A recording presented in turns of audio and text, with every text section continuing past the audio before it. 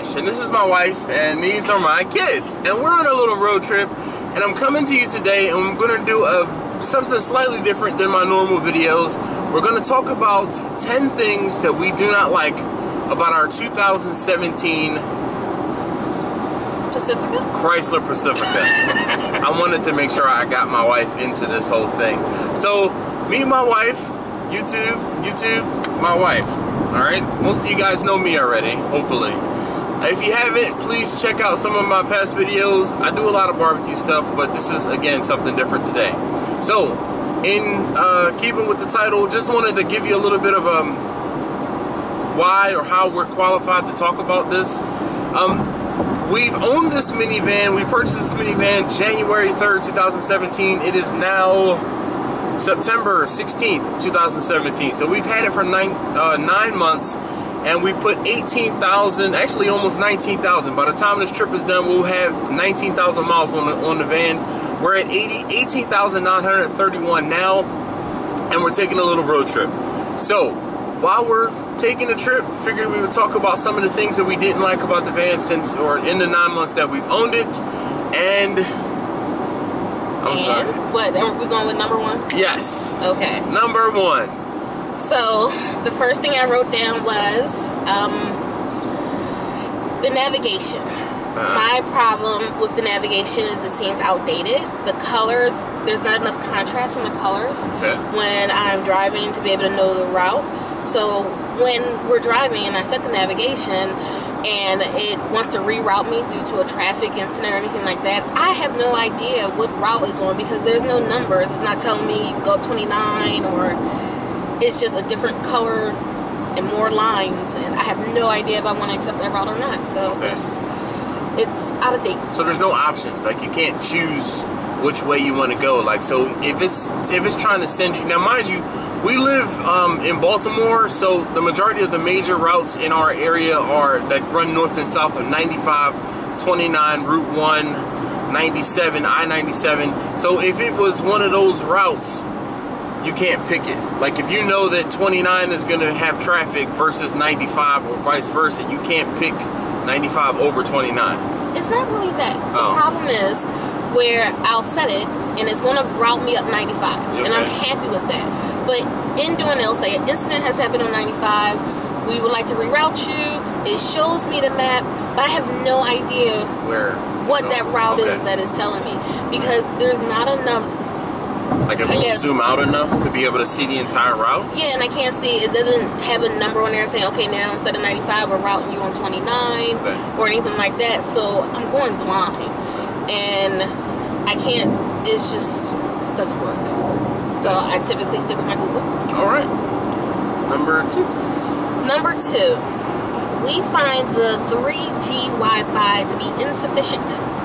Okay, so this is uh, one having a family with um, three children and having tablets and well, basically it was just the tablets at that point. Um, Mhm. We turned the 3G service on. We turned it on for a day, one time, and we traveled with it.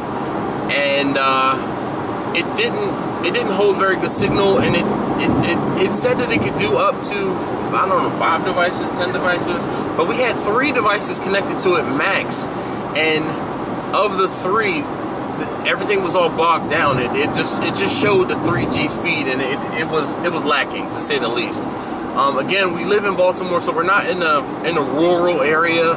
We're in a major metropolitan area. We took a trip from Baltimore to Hershey, Pennsylvania, and going up 83, um, it was it was non-existent. Like it, it it dropped down to the 1G speed or 1X the majority of the trip, and it it was wasted. You know, it was useless. And I think we actually tried it twice, and we found that experience both Delaware. times.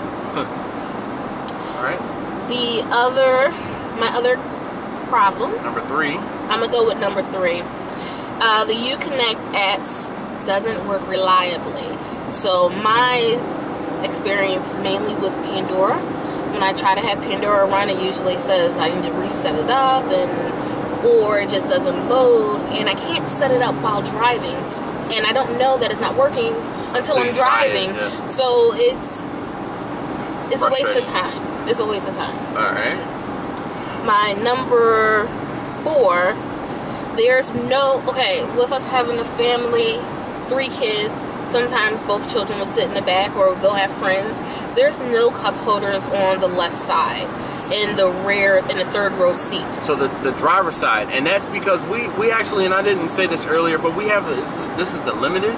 I don't know. Or it's the one with all the bells and whistles. So yes, so we have the included um, vacuum, and because we have that included vacuum, we're missing a cup holder on that driver's side rear. So the only thing we don't have on this car is a tow hitch. But Yep. everything else we have. and mud flaps. Uh, yeah. But we have the larger screen, we have the upgraded sound yep. system, we have the panoramic ceiling. So we went all out and got everything. So Go bigger. No, pretty not at all. much. Oh, the whole what is it? Outside view thing. This is the, the tech package Yeah. uh, with the adaptive cruise control, which I'm using currently now. Hmm What's number? Which will take us to another issue, his cruise control issue. Okay, so and let's see if I can get this to work, and I think I'm gonna be able to try and. The problem is, um, we're we're driving right now at um, we're going at 77 miles an hour, eight, almost 80, and so we're going too slow. Actually, I could have got behind that car right there, but the problem I have, wee, the problem I have. Okay, so the the problem with the cruise control, state trooper there, and can't really show the problem with the cruise control and go faster because you know you need to slow down. All right, but the major problem with the cruise control that I have is that if you get stuck behind a slower vehicle, whoa, Jesus. yeah, and this is actually kind of perfect. If you get stuck behind a slower vehicle and then that vehicle moves or you move out of the way, it is doing it right now.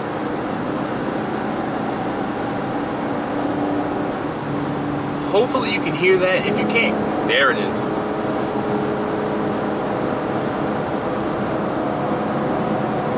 She starts growling at you. The whole thing is, the vehicle wants to get back up to your your set cruise control speed so fast. I don't think that it's necessary for it to drop down. Now, mind you, this thing has eight gears. Um, I don't think it's necessary for you to drop down two gears basically to get back up to your cruising speed. One gear should be sufficient, and then maybe have like a a 50%, you know, or, or, you know, some sort of gradient to get you back up to your, your cruising speed because it's just, it's just nuts how it goes from 50 to want to hurry up and get back up to 80 as fast as possible. So that's my number. What, what number are we? I don't know. Oh. I lost her. Oh, I know. here it is again. Let's see. Anyway, so our next problem, or not problem, our next critique.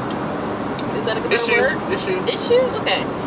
Um, the middle row, which are our two, good Jesus, which is our two captain's chairs.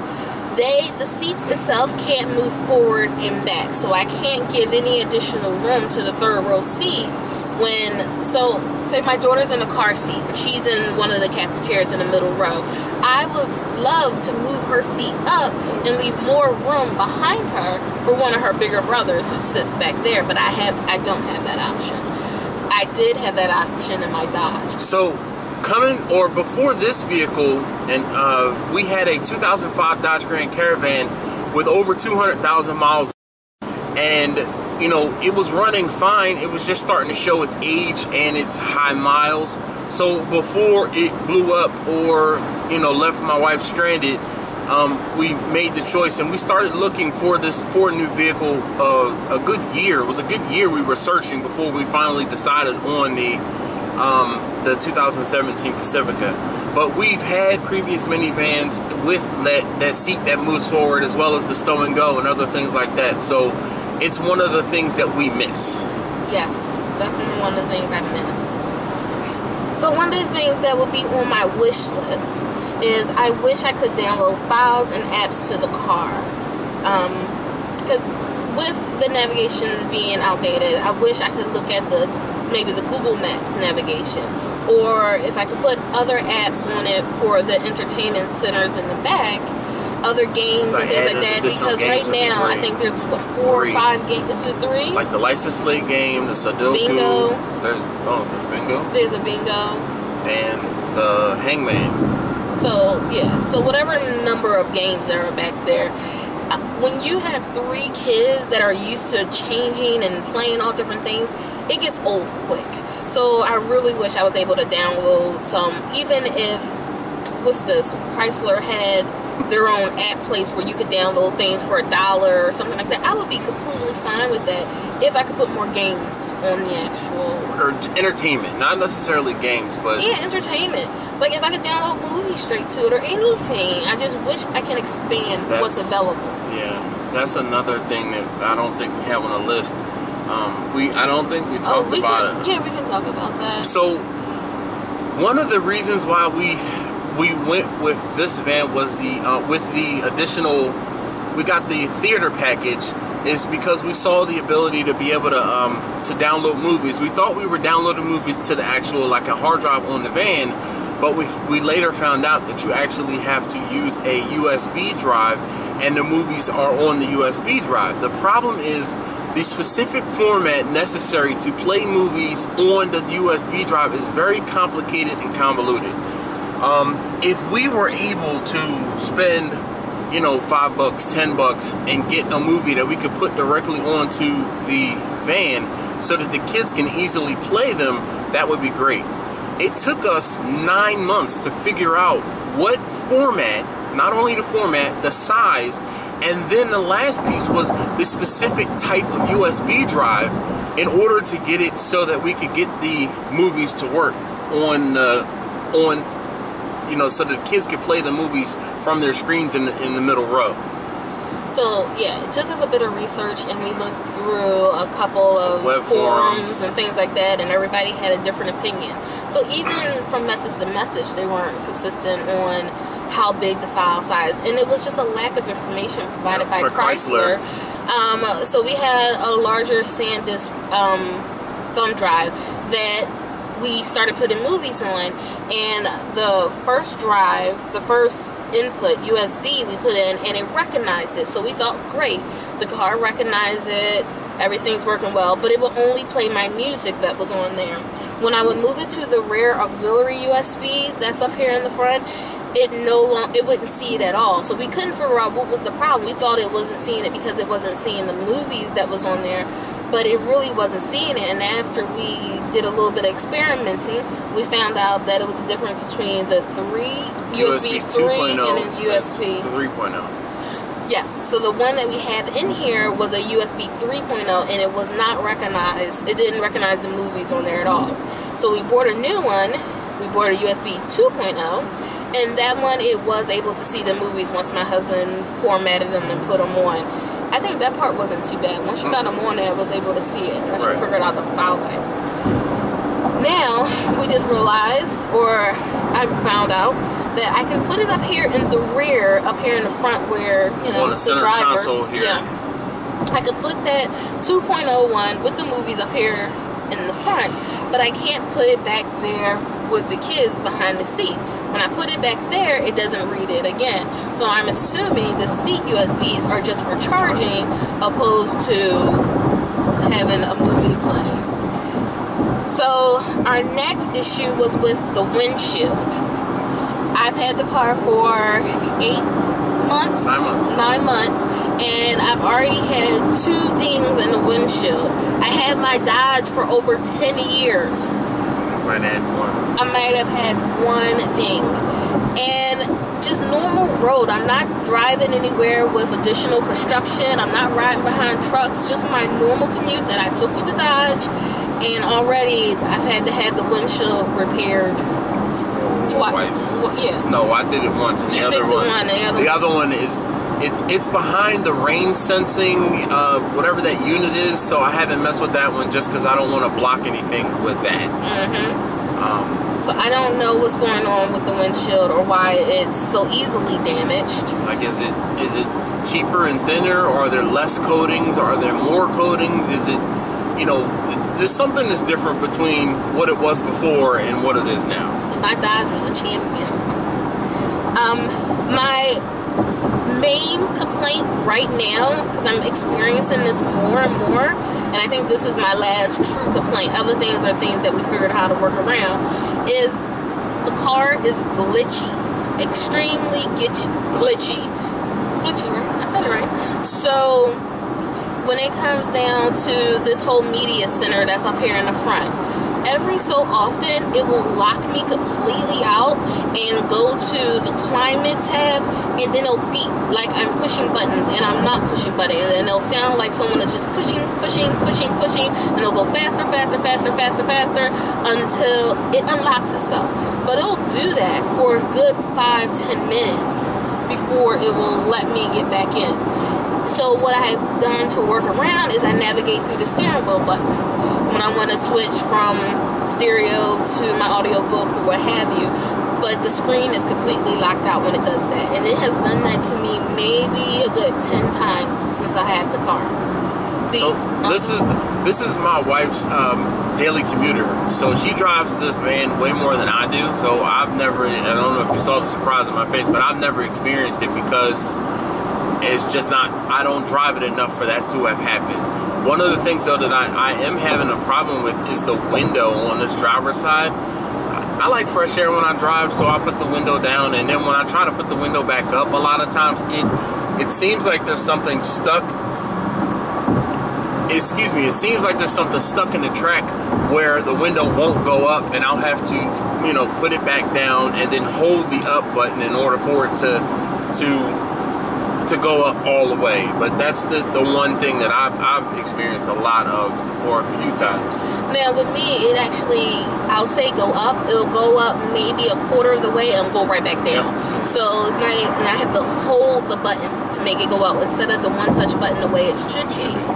So that is also a problem. Another problem is that sometimes I'll get in the car again talking about glitches in the system. I'll get in the car and I'll have no volume on anything. And again, I won't realize it until I'm on the road because I'll get in my car. I park my car in a garage, so I'm not getting a signal or anything. So me not hearing anything immediately doesn't concern me. So it's when I get out of my garage and I'm driving At work. At work, yeah, because it's an underground garage. When I get out of that garage and I'm driving about a block or so, I'm like, where's my sounds? Where's all the things that's supposed to happen?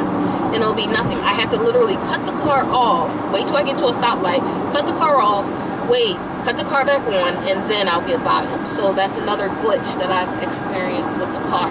And that's my main problem right now because it's annoying. I think, okay, so I think those that's are all those are the things that we don't like, and then the, these are things that we didn't like, but we have since figured out a way to work around them. So the first thing we figured out how to work around was the voice commands. We started to use the voice commands for, you know, message this person, call that person, and it would go through this long spiel. If you want to send this message, please do this. If you want to delete this message, please do that. Send is the very last option. So if you want to hear your message again, please say this. And it'll go through this whole spiel each time. We originally wished we could shorten that or interrupt it and just say send. In the beginning, we didn't know the option, so we had to listen. But now I know I can just say send. You Um, press the button and then press and then say send, and it'll send the message as opposed to having to listen to you know all of the other options again to repeat the message. You know, are you okay with the message? Slow down on I-95 north in five miles. Sorry, You thank are still Thank- on the fastest route. Thank you, Lola. mhm. All right, so but that was that was the you know one of the things that we've since overcome just kind of out of dumb luck and pressing the button a bunch of times and we just figured it out like oh wait hey that stops it Yeah, so if you push the voice recognition button on the steering wheel, it will interrupt her message and you can just say whatever command you want to happen. The other thing that we wish no Oh, the other thing that we've learned to work around was the lack of entertainment for the third row seats. So originally, when the car was new and shiny, and my kids were super excited, everybody wanted to sit in these two captain's chairs, the so they row. in the middle row, um, to play on the entertainment system, the screens. And, okay, so that's what everybody wanted to do. Well, I have three kids and only two entertainment systems, and by default, my daughter's in a car seat, so she gets one. So now I have two boys arguing over one entertainment system. Um, so that was an interesting issue, and we had to say, okay, you get it there, you get it back, and we had to kind of delegate and work that out. Since then, they now know that somebody needs to bring a tablet or their phone or something, and they can sit in the back calm, calmly and play. But that was one thing where I'm like, ah, because it just caused, yeah, it just caused argument. undue stress in my house. Um, but yeah, we worked around it. I think that is it, honey. I But- don't think there's anything else. Overall, we, we thoroughly enjoyed the van. Oh, we're gonna talk about the good points. Yeah, we can talk about that quickly. Okay, so If you've made it this far in the video, thank you very much for watching so far on us. You know, this is our first video collaboration. If you want to see something else like this, you know, let me know in the comments below. And then I'll get my wife all dialed up again and then we can, you know, we can do another video like this. But while we have your attention, or maybe this could be a separate video. It can be. You I can cut know. it off at this point. Say see. So now see you have to see part two. that was great.